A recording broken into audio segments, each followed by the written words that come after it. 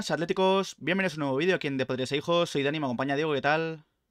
Muy buenas, Dani. Buenas, Rocco, Frar, ¿cómo estáis? Vamos con el episodio número 44 del mercado de fichajes del Atlético de Madrid. Eh, comentéis también el tema de Renildo, luego vamos a hablar de él, eh, de su Mozambique, que podría volver antes de tiempo Renildo, pero sobre todo también hay muchas noticias que comentar en este episodio del mercado de fichajes, porque ya hay algunos muy avanzados, tanto que pueden llegar esta misma semana, como es el tema de la portería con Moldovan eh, como nuevo portero del Atlético de Madrid y la salida, por tanto, de Gerbich rumbo a la Premier League. También en la delantera puede haber movimientos. Moisekin eh, suena para reforzar a Leti. De hecho, muchos en Italia, eh, de los grandes, Fabrizio, Mateo, Di Macho, han comentado que ya hay acuerdo con la Juve y que llegaría el Atleti en caso de salida de Ángel Correa. Y también otros nombres, como el de Soyunchu, el de Bilal Canús, Calvin Phillips. Son muchas las noticias. Javi Galán incluso, que en las últimas horas se ha relacionado de Villarreal, muchas noticias de él que puede ser eh, también otro de los mercados más interesantes porque ya hay algunos que ya están aquí, eh, algunos fichajes.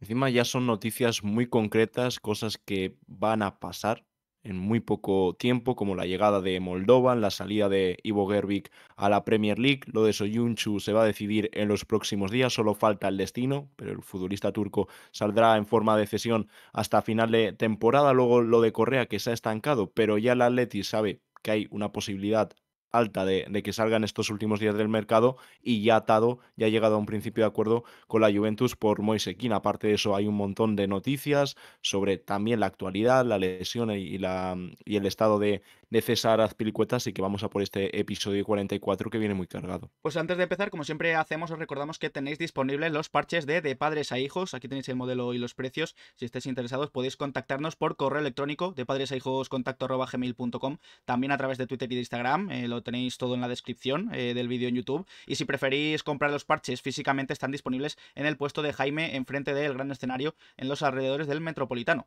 Así que nada, una vez dicho esto, empezamos con este episodio 44 del mercado de fichajes del Atlético de Madrid. Y vamos a ir parte por parte, fichaje por fichaje, porque ya digo, son muchos los nombres que vamos a tratar en este vídeo. El primero de todos del que vamos a hablar es Horatiu Moldovan, que quizás, como nosotros hace escasos días, eh, no conozcáis quién es, y es que va a ser el nuevo portero del Atlético de Madrid. El, primero, el primer medio en confirmar la noticia es Fanatic desde Rumanía, el portero es rumano, eh, diciendo que el Atleti iba a pagar la cláusula de 800.000 euros. Posteriormente fue confirmado tanto por Marca como por Mateo Moreto, como además por otros medios. Luca Bendoni también comentaba que ya el lunes llegará a Madrid para pasar el reconocimiento médico y eh, pues parece ser, o va a ser seguro, el nuevo portero suplente de Jano Black ya para enero, para este mismo mercado, porque ahora hablaremos de Gerbich, Gerbich también se va a marchar, así que hay un cambio en la portería que además, por cierto, deja rédito, económico. Claro, porque Ivo Gerbich se va a ir por 2 millones y medio, Moldovan va a llegar por 800.000, el portero tiene un valor de 2,6 millones de euros y creo que es una sorpresa porque nadie esperaba que un portero como él fuese a ser el sustituto de Ivo Gerbi, que hasta el momento la figura del portero suplente del Atleti no ha tenido casi relevancia, salvo la temporada pasada por esa lesión de Jan Oblak. Toquemos madera para que no tenga que jugar, porque Oblak es el futbolista y el portero que, marca la diferencia en el Atleti. Y bueno, buscan esa figura de, de, un portero que acepte ese rol secundario. Según él ha comentado, aún no se cree que haya podido fichar por el Atleti. Es esa oportunidad que solo pasa en la vida y no la ha querido desaprovechar. No es un portero muy alto, mide un 83, que no, está mal la estatura, pero en el caso de, los porteros no, no, es un portero que, que destaque por esa mm, por ese aspecto. Con Rumanía hizo una muy buena clasificatoria para la Eurocopa, hablan muy bien. De hecho, en la clasificación para la Eurocopa es de los porteros con mejor promedio, pero es un poco una incógnita porque hemos podido ver muy poco de él con la selección y ya, al menos nosotros no, no hemos llegado aún a ver la, la liga rumana y nada, ya está prácticamente cerrado, solo falta que llegue a Madrid, pase el reconocimiento, que se certifique la salida de Ivo Gervik al Sheffield United y Moldovan será el primer fichaje de invierno del Atlético de Madrid y firmará por cuatro temporadas. Sí, el porcentaje de Atlético Stats que comentaba era 86% de porcentaje de paradas, eh, de remates parados en el clasificatorio para la Eurocopa con Rumanía. Es el portero titular de Rumanía. Así que, oye, el dato es bueno, pero claro, hay que verle con la camiseta del Atlético Madrid porque no es lo mismo jugar en la Liga Rumana que en el Atleti. Así que también veremos si tiene muchas oportunidades en el futuro, porque Grevich eh, estos últimos años, salvo lesión de Black, no ha tenido tantas oportunidades. Y por cierto, también eh, confirmaban en Mundo Deportivo Chema Fuente que el portero va a cobrar en la primera temporada eh, menos de un millón eh, de salario y que irá subiendo conforme vayan, vayan avanzando perdón, las temporadas. Firmará por unas eh, cuatro temporadas y media o cinco y media. Está ahí esa, esa duda en cuanto al contrato. Gracias también a Jairam Gala por ese follow. Y como decía Diego, ya ha confirmado el propio portero de fichaje, ha dicho para Digi Sport, fue muy bonito despedirme de los aficionados, de mis compañeros en el campo. Al principio no me lo creía, después cuando vi que las cosas avanzaban, dije que era la oportunidad de mi vida. Puede que este tren no vuelva a pasar. Iré a ver qué pasa, trabajaré y cuando llegue mi oportunidad estaré, espera, espero de demostrar, perdón, mi valía. Así que el propio portero ilusionado con la posibilidad de, bueno, de parar para el Atlético de Madrid, de ser portero del Atlético de Madrid. Como decíamos, Moldovan va a llegar para sustituir a un Ivo Gerbich que se marcha a la Premier League, se, se marcha a Inglaterra y en concreto se va al Sheffield United, equipo en descenso de la Premier League y según confirmaba Luca Bendoni primero y después confirmaba Mateo Moreto y otros medios, el propio Fabrizio Romano también lo ha dicho, Gerbich eh, va a llegar al Sheffield United por 2 millones y medio, así que claro, era un portero que terminaba contrato en 2024, el Atleti ha visto la oportunidad de sacar dinero por él ya en esta ventana de enero y eh, se ha movido rápido para eh, fichar a un sustituto. Así que también desde aquí yo creo que deberíamos dar las gracias a Gerbich por el rendimiento que ha dado en el Atlético Madrid. Por lo poco que ha jugado también yo creo que es algo eh, que tiene su mérito. un jugador que también llegó muy joven al Atleti, que nunca ha puesto una mala cara ni ha dicho nada, porque también entiende, yo creo que Black es un porterazo y que es eh, difícil eh, poder superarle. Así que, oye, toda la suerte del mundo para Gerich en la Premier, que yo creo que puede llegar, puede ser titular y ojalá pueda hacerlo bien. Por supuesto, hay que agradecer el trabajo de, Ivo Gervik porque cuando tuvo la oportunidad creo que lo aprovechó. Obviamente, comparar a cualquier portero con Oblak es un error porque si no, ninguno va a parecer un portero de élite. Pero creo que en el caso de Ivo Gervik lo, demostró también en Francia, en esa cesión en el Lille, que, es un buen portero. Creo que lo puede, lo puede hacer realmente bien con, con el Sheffield, pero aquí en el Atleti lo hemos visto desde que llegó Oblak, salvo los primeros años, el primer año, eh, ante el mal partido ante Olympiacos, que Moya ganó la, posición a, a, Oblak y luego también por lesiones cuando empezó a entrar el esloveno, siempre ha sido titular indiscutible, salvo cuando ha habido alguna lesión de por medio, que ojalá no haya. Eh, también estuvo Lecom, el año que, Ivo Gervik se fue a Lille, tampoco jugó absolutamente nada.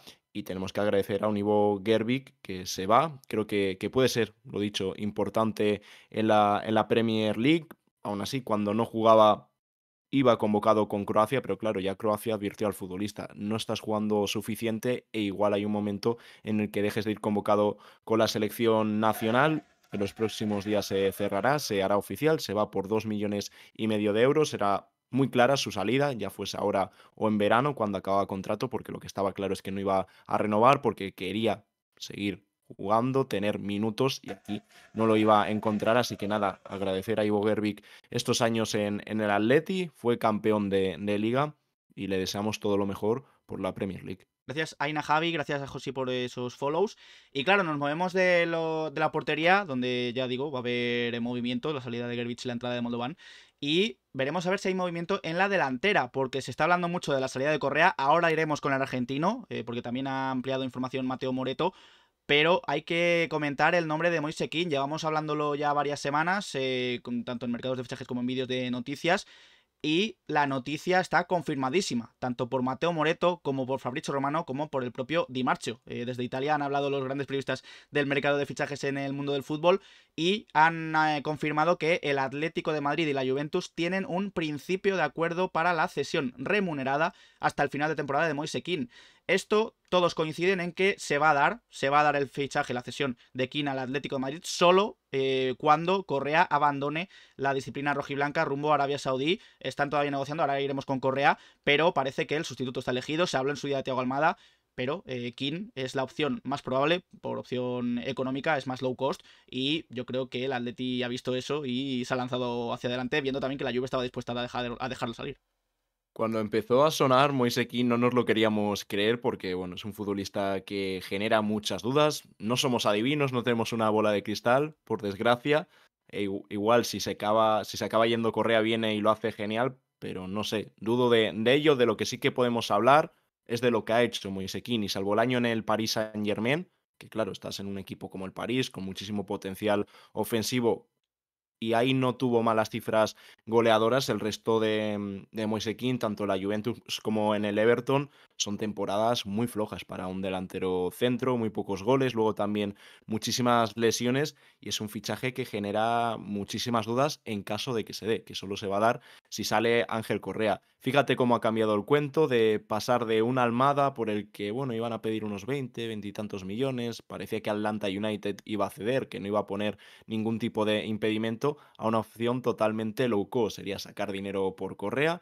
No parece ser que si se va a Correa vaya a ser por esos 30 millones de los que se hablaba. Ya se está hablando de unos 10, 15, 20 millones de euros que pueda subir el precio por Correa y sería traer a un jugador cedido, pagarías la, cesión, como puede ser en el caso de, de Soyunchu en el tema de, de, salida, se pagaría una cantidad a la Juventus hasta final de temporada, no sé si se guardaría algún tipo de opción de compra por si acaso lo hace muy bien, ojalá si se acaba dando que venga el Atleti y lo haga genial, pero lo dicho, genera muchas dudas y también habla un poco de la planificación del Atlético de, de Madrid, porque son dos futbolistas completamente distintos, ya no voy a decir con Correa, pero lo podemos comparar con Almada, porque Almada Sí, es un futbolista distinto a Correa, pero guardan ciertas similitudes. Almada es, es un enganche que puede jugar algo más atrasado, pero Moise es un delantero centro puro. Y no creo que haya cambiado tanto la cosa en el Atleti, porque si crees que Almada es el elegido, porque ahora vas a por un delantero centro. Eso habla de que el mercado del Atleti es constantemente improvisando, al final van a lo que sale más barato. Se puede dar la salida de, Ángel Correa al fútbol saudí, eh, al Ali Dihad, y en caso de su salida sería Moise porque los periodistas que han hablado sobre ello son muy fiables. Empezaron a hablar de Italia y los periodistas italianos más fiables, como son Fabrizio, Mateo y Di Marcio, han dicho que ya hay ese principio de acuerdo entre el Atlético de Madrid eh, y la Juventus y todo está a expensas de lo que pase con Correa, que ahora mismo está estancado, pero ahora profundizaremos con el argentino. Sí, según avanzaba lo de King, Mateo Moreto ya decía que lo de Thiago Almada no avanzaba, no avanzaba por un posible fichaje por el Atlético de Madrid y la sensación que da es que sí, Thiago Almada interesó al Atlético por si salía Correa, pero salió la oportunidad de mercado de King y se fue a por King. Yo creo que también, como dice Diego, es una improvisación total y se lo comentaba también hace unos días me recuerda bastante al caso de Musa Dembélé, un jugador, eh, un delantero que no parece que vaya a tener muchísimos minutos porque Morata está al nivel que está eh, esta temporada. La temporada de Dembélé estaba al nivel eh, Luis Suárez, así que no parece que si llega King, si sale Correa, no vaya a jugar mucho. también es un jugador que le falta gol. a mí casi más me gustaba Dembélé en su día que este Moise King, la verdad. Mucho, más Dembélé. Sí. Ha tenido momentos y temporadas de muy buenas cifras goleadoras. Moise King Creo que la temporada de más goles son 13 en el mm. Paris Saint Germain. Y lleva además, Moise lo leía el otro día, sin marcar desde abril del año pasado. Ha estado lesionado también. Es un jugador que. No, no, creo que está actualmente. Está actualmente lesionado. Es un jugador también que, se, que tiene problemas físicos. Así que, no sé, es el tipo de jugador que si llega va a ser una cesión. Veremos a ver si se queda o no. Pero no parece que transmita mucha esperanza en los aficionados del Atleti. Yo preferiría que se quedase Correa que llegara Moise Pero bueno, Correa, veremos a ver si sale, porque ya vamos a pasar también al delantero argentino, porque su fichaje por el Al va avanzando, pero muy lentamente, según ha comentado Mateo Moreto en relevo. Las negociaciones es verdad que se están dando, pero comenta el periodista italiano que todavía no hay acuerdo económico entre el Atlético de Madrid y el Al. La distancia está en el precio final. El otro día ya comentamos que Al Ittihad ofrecía 10 millones, que era totalmente insuficiente para el Atleti, un Atleti que pedía como mínimo mínimo 30, 30 millones y además Al tiene que dar salida a un jugador extranjero, así que se ha estancado un poco la salida de Correa, así que esto es un poco la llave que va a abrir el fichaje, la cesión de Moise al Atleti, veremos a ver si se da. Claro, hay que, bueno, tienen que llegar a lo que pide el Atlético de, Madrid, por eso está estancado. Aparte, no se ha vuelto a hablar mucho más de la salida de, de Jota al Ajax, porque un futbolista extranjero tiene que salir de Al y el portugués era el que más cerca estaba de, hacerlo, pero en las últimas horas tampoco y en los últimos días no, se ha hablado mucho de, su salida. Si no sale un extranjero, es imposible que Al vaya a por Correa y ya sería buscar un acuerdo para el próximo verano y en el mercado de, verano que Ángel Correa salga hacia, eh, hacia, Arabia Saudí. Pero claro, puede llegar esa oferta, que den salida al jugador extranjero y ahí es cuando ya se podría llegar a un acuerdo. Y lo que hemos comentado, si sale Correa, el elegido es Moisequín. Claro, lo de Correa va a mover cosas en la delantera, como también puede mover cosas en la defensa la lesión de Azpilicueta. Vamos primero con Azpilicueta y luego veremos a ver qué pasa con Soyunchu, con Mourinho también, del que ha hablado eh, Antonio Ruiz en la COPE. Pero lo primero es decir que Azpilicueta ya ha sido hoy, hoy mismo operado con éxito de esa lesión, de esa rotura del menisco externo. Y el otro día en marca Pablo Gea comentaba que el tiempo estimado está entre las 8 y las 12 semanas, es decir, entre 2 y 3 meses de baja. Es una lesión eh, también bastante eh, difícil, yo creo, para Azpilicueta, también sobre todo por la edad, pero Claro, lo de Azpilicueta, ¿qué va a pasar con, lo de Azpilicueta? ¿Qué va a pasar con Soyunchu? Porque en marca el mismo Pablo Gea comentaba que la lesión de Azpilicueta no va a condicionar la salida de Soyunchu, sin embargo, en As o Sankar decía todo lo contrario, que no, que no pasa nada, que, que lo de, Perdón, que sí, que lo de Azpilicueta iba a condicionar la salida de Soyunchu y Mateo Moreto también ha dicho que si Soyunchu se va a ir, es que se va a ir, no, no va a cambiar nada de Azpilicueta, así que es un poco también ver la improvisación que hace este Atlético de Madrid, porque también vamos a comentar después el fichaje de, o la, posible, eh, la posible repesca de Santiago Mourinho.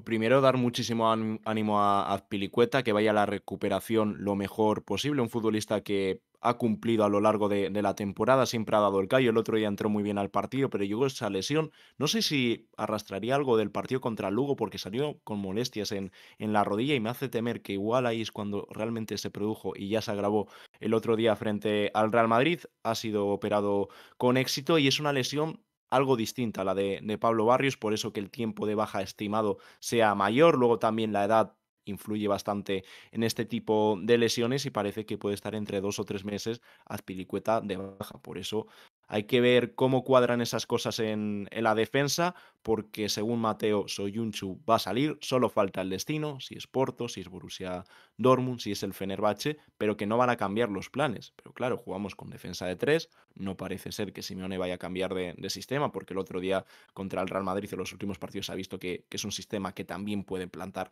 cara a cualquier equipo, y es lo que y la plantilla es que encima está hecho para, para ello, pero claro, pierdes a dos centrales, que en el caso de Soyunchu no estaba teniendo muchos minutos, pero también pueden llegar las lesiones. Y creo que eso sería peligroso porque al final igual te toca cambiar de, sistema obligado por la falta de, centrales. Si sale Soyunchu, Azpilicueta, ya está confirmada su lesión, creo que habría que hacer algún movimiento en la zona defensiva. Fichar no creo, por eso lo que comentaban desde Cope, que Mourinho podría ser repescado y creo que es una operación que tendría bastante sentido y si no, tendrá que dar la oportunidad a algún jugador del filial, porque si no, creo que podemos ir muy justos en la zona defensiva. Sí, era algo que comentaba esta misma tarde Antonio Ruiz en Cope. Decía que tras la lesión de Azpilicueta y la posible cesión de Soyunchu, del que ahora hablaremos también, porque también hay novedades en cuanto a su posible salida, el Atleti el objetivo del Atleti o el deseo del Atleti es repescar a Santiago Mourinho, central, que llegó al Atleti en verano, el pasado verano, que fue cedido al Zaragoza que no empezó jugando nada en el Zaragoza, pero con el cambio de entrenador y el cambio de sistema a tres centrales sí que está jugando bastante. Ha sido titular en los últimos seis partidos eh, y eh, la verdad es que yo creo que lo estaba haciendo bien, o por lo que he leído, a varias opciones del Zaragoza estaba jugando bien. Así que quizás sea una solución también improvisada, por lo de Soyunchu y de Azpilicueta, pero que quizás puede tener sentido. Yo los últimos partidos que he visto de, de Mourinho me ha encantado. Me parece un jugador con muchísima jerarquía. Encima con el mismo sistema que el Atleti está jugando el Zaragoza con los tres centrales. Eso ha hecho que, entre a, jugar porque tiene muy buenos centrales el Zaragoza, con Gira Amador, francés, ahora Mourinho y está siendo el mejor de, los centrales en lo que he podido ver. Es cierto, es segunda división, pero creo que es un chico que tiene muy buena pinta y ante la posible, bueno, ante la baja de Aspiricueta y la posible salida de, de Soyunchu, creo que el Atleti no se puede arriesgar a no tener centrales de, sobra, porque vale, si no hay lesiones, sí, vuelve Reinildo, también es un futbolista que, que va a aportar seguro, pero claro, una temporada muy larga hay lesiones, igual vamos muy justitos para, para esa zona, porque estarían Hermoso, Jiménez, Bitzel, Savic y Reinildo. Estarían esos cinco centrales que bueno, puedes pensar, sí, son cinco centrales, pero claro, jugamos con ese sistema de tres atrás, sería distinto si jugásemos con un 4-4-2 y solo empleásemos dos centrales, e igual el Atleti tiene que mirar si se ficha un central sobre todo eso, porque pueden aparecer lesiones e ir muy justitos hasta final de temporada. Vamos a profundizar ya en el tema de Soyunchu, porque, claro, estamos hablando de su posible salida. ¿Por qué? Eh, porque, a pesar de lo que comentaba antes que decía Nenas, de que la lesión de Azpilicueta va a frenar un poco o quizás frene la salida de todo lo contrario, según Mateo Moreto, según Marca, según medios eh, y periodistas turcos, porque todo parece indicar que Soyunchu se va a ir del Atlético de Madrid este mismo mercado de, enero. Primero, eh, Mateo, eh, Serkan Hamzaoğlu, eh, perdón, en Turquía, y después Mateo Moreto también ha confirmado, eh, Soyunchu podría salir rumbo al Porto, ¿por qué? Porque tiene el Atleti un acuerdo con el club portugués. Es decir, eh, este, este, posible cesión sería remunerada de 2 millones de euros más el sueldo de Soyunchu, sumado todo sería un total para el Porto eh, de desembolsar 4,5 millones. Ese es el acuerdo que tiene el Porto con el Atleti para la cesión de Soyunchu, pero desde otros eh, medios turcos, sobre todo también el periodista Yagit Samunkoglu, dice que Soyunchu tiene acuerdo con el Fenerbahce y que de hecho han negociado estos últimos días el club, el Atlético Madrid con el Fenerbahce y que ya han llegado también a un acuerdo. Así que parece Soyunchu ahora mismo más cerca de volver a Turquía, de, ir al Fenerbahce, que de marcharse al Porto también. Es algo que ha comentado Mateo Moreto. Así que bueno, eh, todo parece indicar que Soyuncu se va a ir y que el Fenerbahce le ha tomado la. Eh, ha, superado en la carrera al Porto para conseguir al turco.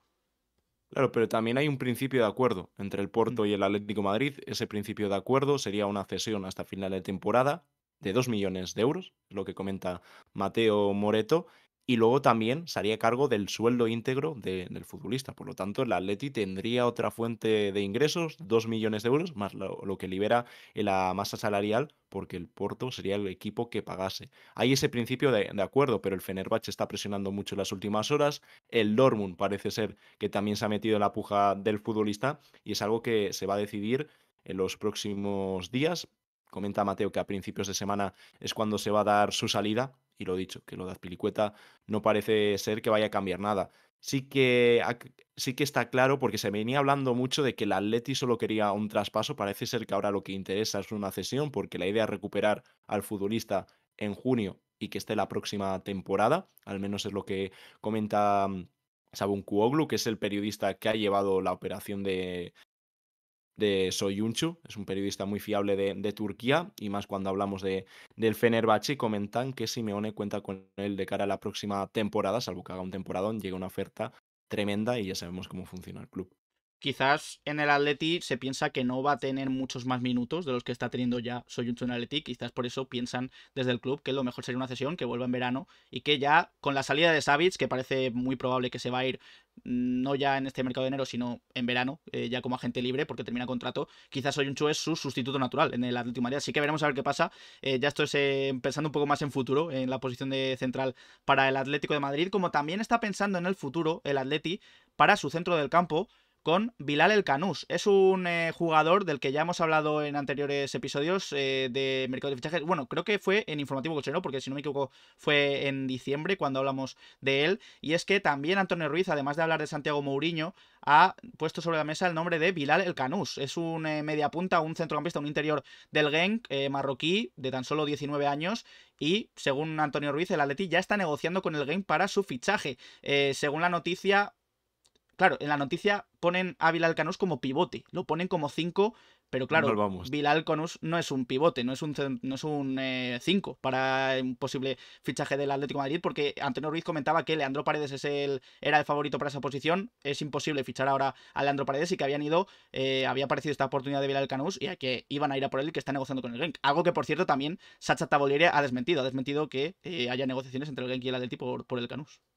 Eso es Tabolieri, que es uno de los periodistas más reputados de, de, Bélgica, desmentido que haya negociaciones entre el Atlético de Madrid por, por el futbolista. Y luego también es extraño que hablen de que es un pivote cuando no tiene nada que ver con esa posición. Es un medio centro, un volante que puede jugar como interior, incluso como media punta. Es un medio centro que yo catalogar, catalogaría de ofensivo futbolista que rompe muy bien líneas, con muy buena visión, muy técnico y que no encaja para nada en la posición de pivote. No tiene nada que ver y es algo que hace que es algo, algo extraña, porque si dicen que quieren un media punta o un interior, pues cuadra perfectamente. Ahora, decir que es un pivote, creo que ahí no cuadra muy bien con lo que es realmente el futbolista. Mira, además de esa chata Valeri, nos dice Jaime por el chat que lo ha desmentido también Mateo Moreto, así que Ah, eh, pues también mira. queda bastante en duda esa información de Antonio Ruiz, según Mateo. Varilla desde el principio ha sido. Sí, sí, así que, así que era raro lo del Ganús. Es verdad que puede interesar a Leti, pero no como pivote, como 5 para el futuro. Hablando de pivotes, hablando de 5, eh, se ha Aparte también... que costaría una pasta. Sí, es verdad. Porque tendrá un valor de mercado de más de 20 millones de euros, porque es un chico que, que tiene muy buena pinta, también hay Mm. que decirlo, que aunque no sea ese pivote, es un futbolista que pinta que va a ser muy bueno. Solo tiene 19 años y lo está haciendo realmente bien. Se la ha relacionado también con muchos equipos en Europa, así que sería un fichaje muy complicado para el Atlético de Madrid, teniendo en cuenta cómo se está moviendo estos últimos años y en este mismo mercado de, invierno. Eh, hablando de pivote, hablando de 5, está el caso de Calvin Phillips, que también eh, ha sido relacionado para el Atlético de Madrid por el periodista Matt Lowe de, Telegraph, ha dicho que Atlético de Madrid y Fútbol Club Barcelona en España están interesados en Calvin Phillips, el pivote del City, que no está jugando nada con Pep Guardiola desde que llegó el procedente del Leeds. Eh, también desde Inglaterra comenta que el Crystal Palace, el West Ham y el Newcastle también están en la carrera. Es verdad que, según esta información, quizás la preferencia del jugador es seguir en Inglaterra, en estos tres clubes, en algunos de estos tres clubes que están interesados, porque esto le daría más facilidades para seguir yendo con la selección inglesa de, de cara también a la Eurocopa de este mismo año. Según el periodista Matt el futuro de Calvin Phillips se va a decidir esta misma semana, eh, a principios. Claro, pero eh, es un fichaje que, como decíamos con el Canus, es complicado. Sobre todo también, lo decía Pico Díaz en As, sobre todo por la ficha. La ficha de Calvin Phillips tiene que estar altísima como para que el Atlético de Madrid la pague íntegra siendo un fichaje. Aparte que piden también unos 7-8 millones por la cesión hasta final de temporada. Me parece un auténtico dineral. Es cierto que es un futbolista por el que el City pagó un dineral al, al, Leeds United. Su rendimiento ha sido muy pobre. Apenas ha jugado con Pep Guardiola. Incluso Guardiola lo ha dicho que, que bueno, que es un jugador que han visto que no tenía el nivel que necesita el City, que no, no encajaba.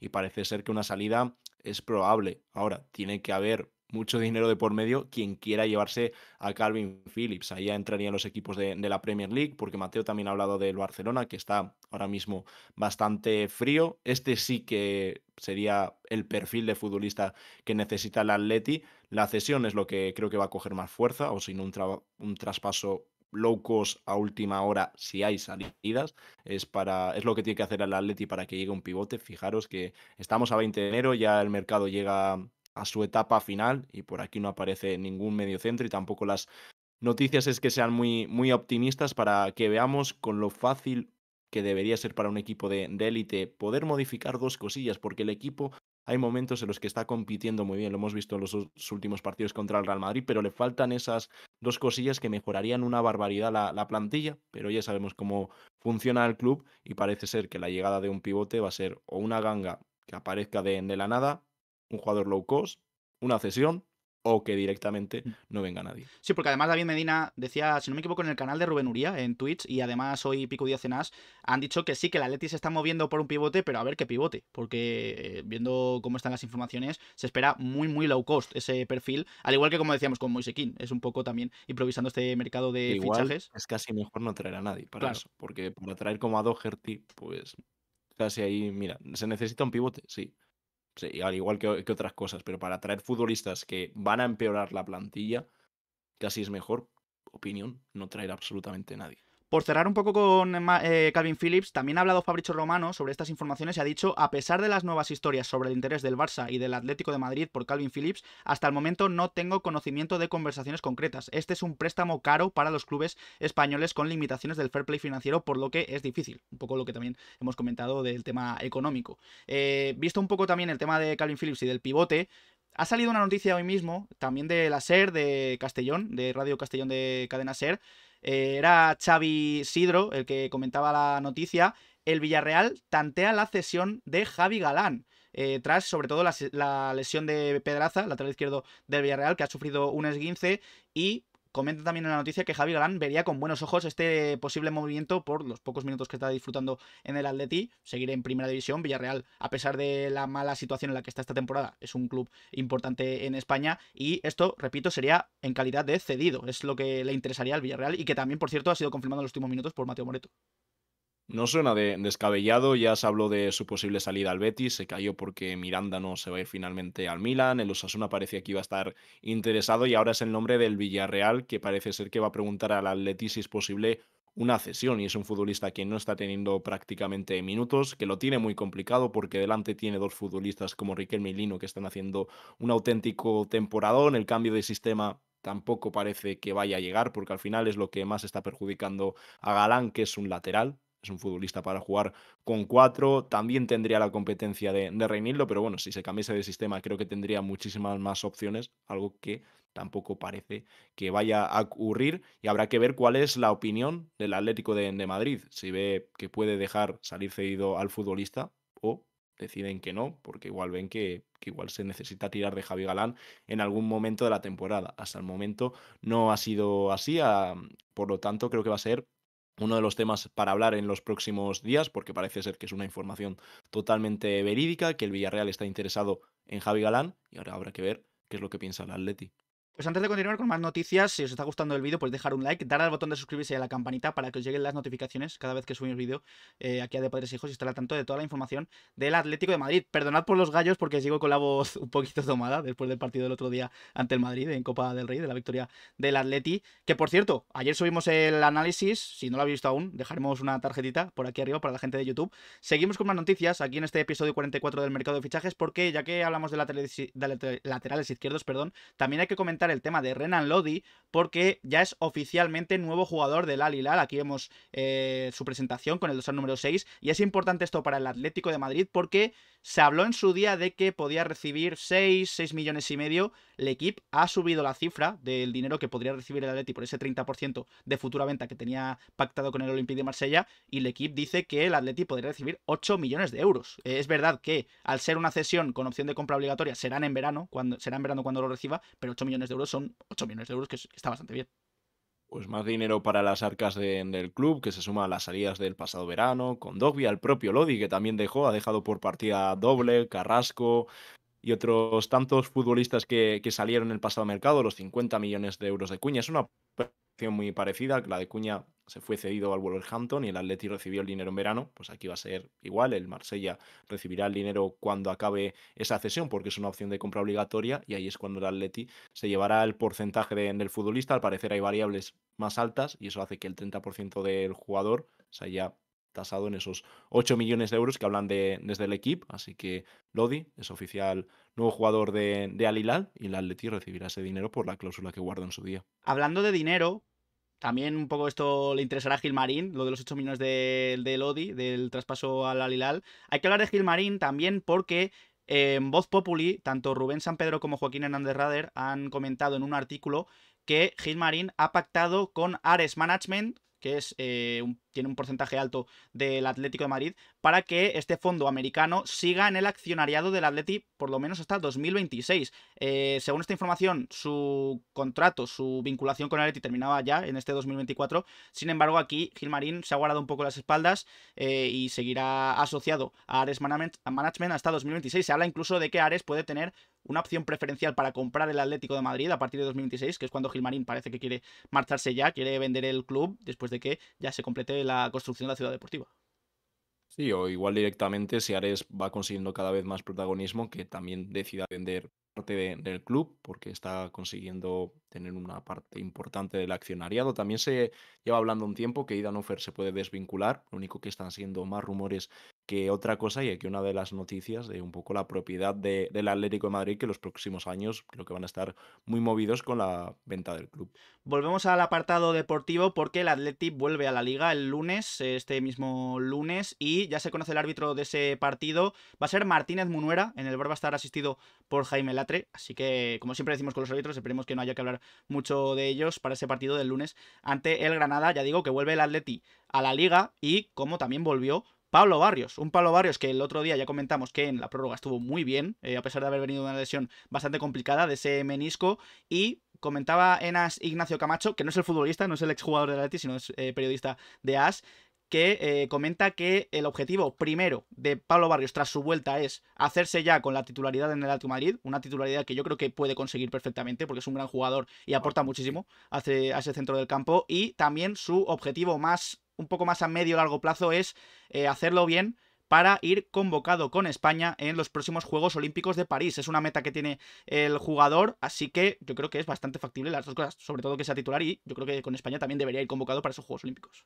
Sin lugar a dudas, se está haciendo un hueco en la sub-21, está siendo de los mejores futbolistas de, la selección. Una pena que llegó esa lesión, pero seguro que entra en las próximas convocatorias, que ahora empezarán de nuevo las selecciones y no tengo ninguna duda que va a ser titular indiscutible en este último tramo de, de la temporada. Creo que puede asentarse este centro del campo de, de Coque, de Paul y Pablo Barrios, porque lo del pivote parece más complicado que, otra cosa y sí que hay, que tirar de ellos. Creo que es un centro del campo que, puede dar, dar, la cara. Lo único que llegó esa lesión de, de Barrios, luego cuando estaba Barrios, no estaba Coque, casi coincidió un poco en el principio de, la temporada, pero bueno, Barrios ha, rendido a un nivel muy alto y hay confianza plena y encima se marca ese objetivo de estar en los Juegos Olímpicos, que creo que tiene que ser una experiencia tremenda para un futbolista. Veremos a ver si va sumando minutos en el partido de lunes ante el Granada. Hoy no había entrenamiento, hoy había descanso, mañana volverá el Atleti a las sesiones eh, preparando ese partido, así que ya mañana con la previa veremos a ver si prueba algo Simeone y si está Pablo Barrios en los planes de cara a ser titular o no para ese partido ante el Granada. Hablando de la liga, esta noticia también es de alcance porque se ha modificado, con esto de la Copa del Rey, se ha modificado el horario del Atlético de Madrid Valencia Club de Fútbol. Finalmente va a ser el domingo 28 de enero a las 9, ese partido de la jornada 22. Así que esto, claro, complica mucho para los aficionados, tanto del Atlético como de Valencia, que tenían pensado venir al estadio a verlo, porque ya había mucha gente, según he visto en redes sociales, que tenía las entradas, tenía el viaje cogido, porque el partido, si no me equivoco, era a las 4 y cuarto, y claro, esto cambiaba totalmente los planes. Nos seguimos abonando a las 9, en este caso por el sorteo de, la Copa del Rey, para un partido que celebrábamos que iba a ser a una hora decente, a las 4 y cuarto. A mí me parece un horario muy bueno y más ahora en, en invierno. Parecía que íbamos a tener por fin un poco de, de, calma, pero nada, otro día más a las 9 de la noche al Metropolitano. Ya no sé los que llevamos, si 9, 9 y media siempre jugamos a, la misma hora y en este caso por el sorteo de, Copa, que le va a venir bien al equipo. Son más horas de, descanso, pero a nivel de aficionado son horarios complicados, pero aún así, fíjate la asistencia que está teniendo este año el Metropolitano. La gente está muy enchufada y cambia de las 4 y cuarto a las 9 de la noche. Hablando de Copa del Rey, también lo comentamos en el análisis del Real Madrid, pero también lo recalcamos. Eh, ya se sabe el rival del Atleti en, en esa Copa del Rey, en los cuartos. Atlético Madrid-Sevilla en el Metropolitano, en los cuartos de final de la Copa del Rey el jueves 25 de enero a las 9. También otro partido a las 9. Sin embargo, eh, va a estar bastante seguido a otro partido ante el Sevilla, Sevilla Atlético de Madrid, de la jornada 24 en Liga, del que también ya se conoce horario. Va a ser el domingo 11 de febrero, en este caso a las 6 y media. Así que, oye, por lo menos cambia un poco el horario y ese partido de Liga, de Liga será a las 6 y media. Así que, oye, nos enfrentamos al Sevilla bastante seguidos y ojalá ver, mm, ganar los, dos partidos porque sería importantísimo tanto en la Copa como, como en la Liga. Lo único que el partido del Sevilla creo que también puede ser modificado, porque va a mm. depender del sorteo de las semifinales de la Copa del Rey si el Atleti, ojalá sea así, está mm, en las semifinales, es un partido que de nuevo puede cambiar de horario, que se ha trasladado a las 9 de la noche también o directamente a la jornada del lunes. Es algo que ha comunicado la liga, como hizo para el partido de, del Granada, que son partidos que quedan a expensas del sorteo de las semifinales de, de la Copa del Rey y es un poco aún duda porque va a depender del encuentro. Y si no es el Atleti, el Sevilla que esperemos que no ocurra así, si pasa el Sevilla también podría ser modificado porque el Sevilla podría estar en semifinales. Hablando de dudas, que también nombrabais al principio en el chat su nombre, es duda Reinildo para llegar a ese partido de Copa del Rey de este jueves ante el Sevilla. ¿Por qué? Porque a pesar de haber ganado su primer partido, eh, bueno, no, fue un empate, fue un empate ante Egipto en la primera jornada de la Copa África, en la fase de grupos, en la segunda jornada Mozambique perdió, Reinildo con su equipo perdió 3 a 0 ante Cabo Verde con un golazo de bebé, aunque es verdad que se ha hecho viral ese gol, pero el portero el portero también tiene muchas cosas que decir en esa jugada y ¿por qué está en duda Reinildo para ese partido? Porque claro, si pierde o empata, es decir, si no gana eh, ante gana, valga la redundancia, el próximo lunes en la Copa África en la fase de grupos, quedará eliminada Mozambique y Reinildo podría incluso sumarse al equipo al Atlético de Madrid para estar ya disponible de cara al jueves a ese partido de Copa del Rey ante el Sevilla. Desde el lado egoísta, queremos a Reinildo de, vuelta. Tienen que ganar, es obligatorio que ganen. Si quieren seguir en la Copa África, solo les vale la victoria frente a Ghana. Y si no consiguen ese resultado, Reinildo estará de vuelta y puede llegar directamente al partido del próximo jueves frente al Sevilla de, de la Copa del Rey. Ayer perdieron ese gol que comenta Dani, que Bebé tira prácticamente desde el centro del campo. Es un futbolista que no se lo piensa, lo vemos cada fin de semana con el Rayo Vallecano. Ese murmullo que suena en Vallecas cada vez que toca el balón, porque ha marcado muchos goles de, de ese estilo y ayer lo volvió a conseguir. Ahora el portero, bueno, pues portero de, de la Copa África me parece un torneo que, pasan cosas muy extrañas, hacen cosas muy raras los, los jugadores, es bastante graciosa la, competición y nada, centrándonos en Reinildo, depende del resultado, si gan seguirá en la Copa África, si no consiguen esa victoria, Reinildo estará de vuelta con el grupo. Y hablando también de partidos que interesen al Atlético de Madrid, nos fijamos mucho estos últimos, estas últimas semanas perdón, en el Inter de Milán y es que ayer jugó las semifinales de la Supercopa de Italia y ganó por tres goles a cero, Inter 3, Lazio 0 eh, y eh, los goles fueron de Turam, Chalanoglu y Fratesi. Eh, se enfrentarán el lunes, creo, ante el Nápoles, que ganó la otra semifinal en esa Supercopa. El Inter va muy bien, tanto en Liga como en Supercopa, ya lo estamos viendo. Y por cierto, también pueden tener otro refuerzo más de cara a ese partido ante el Atlético en Champions, porque se habla mucho de que ha cerrado ya el fichaje, el fichaje de Taremi, delantero del Porto, ya para cuando vuelva de la Copa África, que también está con su selección. No, es de la Copa Asia. Copa Asia, y sería, con Taremi parece ser que va a ser finalmente para la próxima temporada, que es cuando llegue como agente libre. Sería un fichaje a coste cero, acaba contrato con, con el Oporto. Es un futbolista que lleva a sonar para el Atleti, lo ha hecho muy bien en Portugal y parece ser que el Inter va a cerrar el acuerdo para el verano porque está teniendo problemas para que llegue ya el futbolista. Es un equipo que ahora mismo está como un tiro, está en un momento impresionante el Inter de Milán. Es cierto que sufrió contra el Elas Verona, pero lo sacó adelante, que, que es lo, lo, importante. Queda bastante para la primera. Para el primer partido de, de esa eliminatoria, queda casi un mes de competición, las cosas pueden cambiar mucho y ya no te digo para la vuelta, pero hay que decirlo, el Inter lo está haciendo muy bien, se reforzó con Buchanan y no se descarta alguna incorporación de cara a, a los próximos días. Gracias Paco Gómez por ese follow. Así que eso, aclaramos el error que he tenido al principio. Será para la próxima temporada como agente libre lo de Taremi.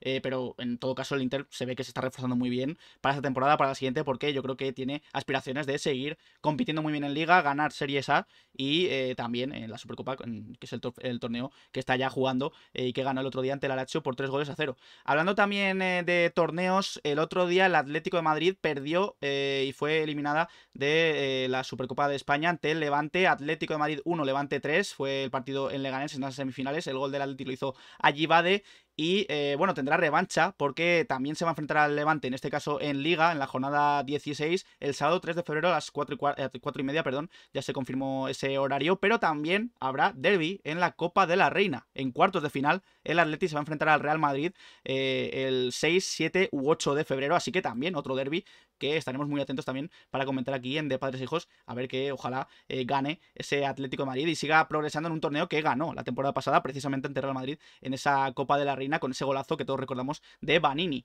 Y seguimos con el femenino también porque ya es oficial la renovación de Sonia Majarín hasta 2026. Así que, oye, también movimientos en el femenino que hay que comentar en el canal. Enhorabuena también a Atlético de Madrid por cerrar esta renovación, a Sonia Majarín, que yo creo que también es una jugadora importante para el presente y para el futuro del Atlético de Madrid. Y vamos a cerrar con dos cosillas, este mercado eh, de fichajes del Atlético 44.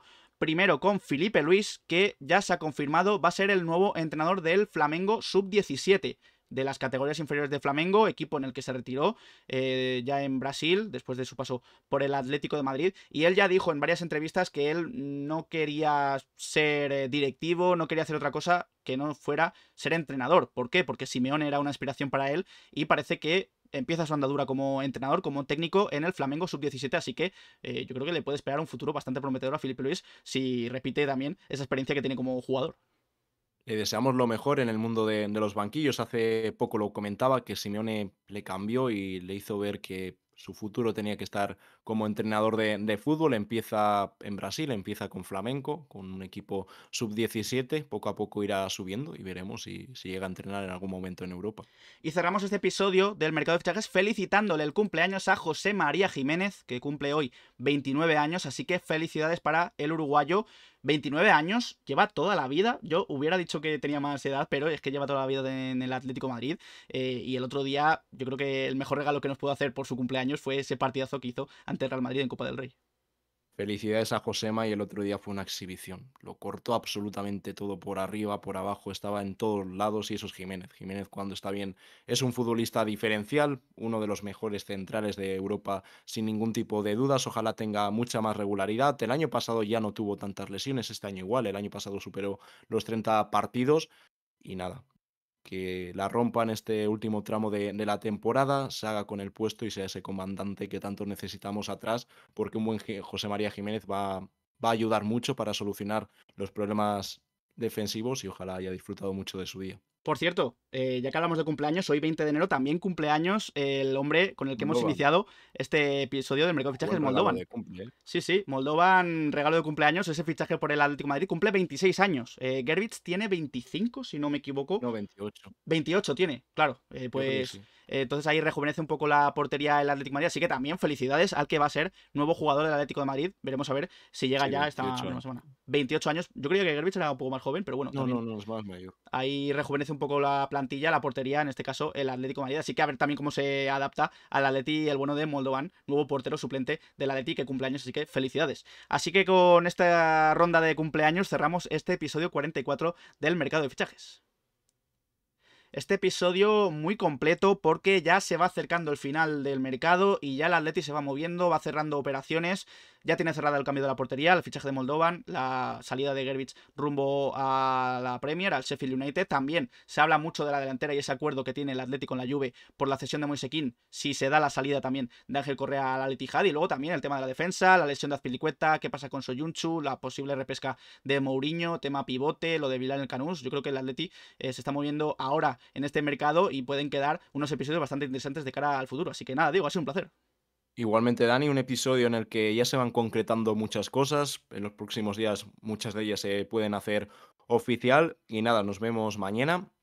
No sabemos si vamos a grabar por la mañana o por la tarde. Si es en directo y tal, sería por la mañana, porque yo por la tarde tengo partido de, de fútbol, juego y no va a poder ser por la tarde, pero lo intentaremos traer por la mañana. Y si no, pues hará una previa Dani como otras veces ha pasado, cuando no hemos podido estar los dos juntos, previa habrá seguro en el canal. Y nada, nos vemos mañana por aquí y luego también el lunes, después del partido frente al Granada, estaremos aquí en directo en Twitch analizando el encuentro. Y muchísimas gracias a todos los que os habéis pasado en directo y también a los que lo hacéis en diferido en el resto de plataformas. Pues muchas gracias a todos por haber pasado. Gracias también a todos los que nos habéis seguido, que habéis sido bastantes en este mercado de fichajes. Y para la gente de YouTube podéis dejar en comentarios qué os ha parecido este episodio, qué opináis del cambio en la portería, de la salida de Gervis, de la entrada de Moldovan, también de la delantera, del, fichaje posible de Moise como cedido, de la salida de Correa, también del tema centrales. Dejamos nuestras redes sociales, Twitter, Instagram y Twitch, donde hacemos directos. Dejad un like, suscribíos y nos vemos en próximos vídeos. Un saludo.